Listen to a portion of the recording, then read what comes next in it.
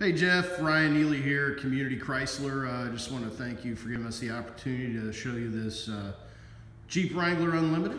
Uh, the good news is that it's brand spanking new, so you don't have to worry about any blemishes or anything. Uh, it's a brand new vehicle.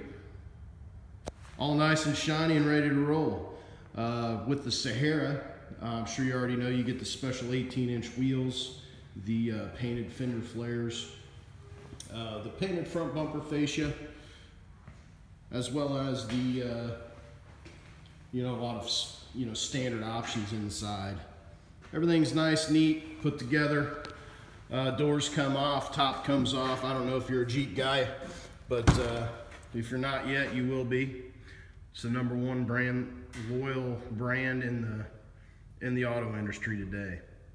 You know, you've got the uh, cloth interior in this one. Everything's nice and neat. AM, FM, CD with auxiliary port. You've got the auto air, of course, manual transmission.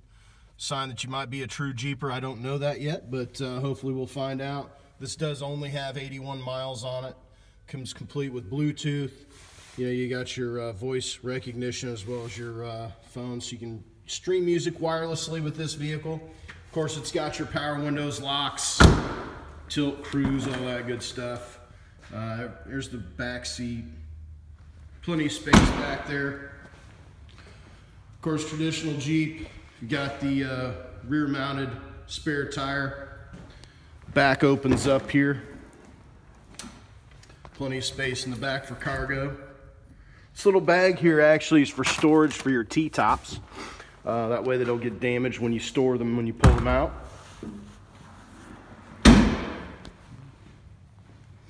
Just took it for a quick drive. Everything runs out okay. Uh, no hiccups at all. In case you didn't know, you can see the seams up here on this roof. That's where the, the T-tops come out. Uh, so you have open air experience. And of course, you can also take this, this top up here off as well.